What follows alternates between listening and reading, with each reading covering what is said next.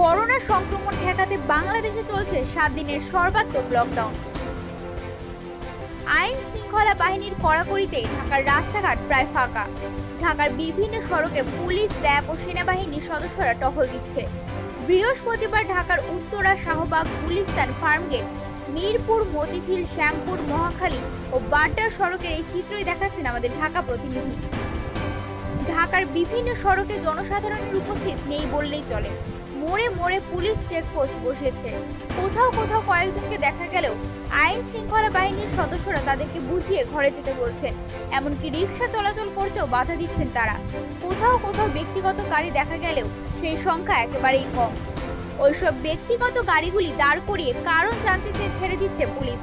যদি কেউ যৌক্তিক কারণ না দেখাতে পারেন, তাদেরকে জরিমানাও করা হচ্ছে।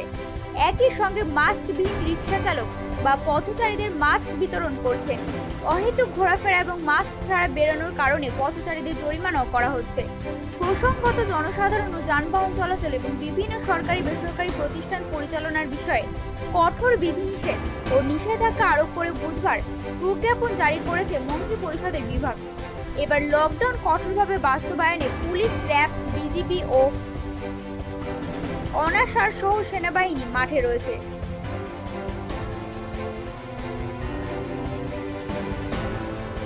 ঢাকা থেকে জাহাঙ্গীর খানবাবুর রিপোর্ট টাইমস বাংলা।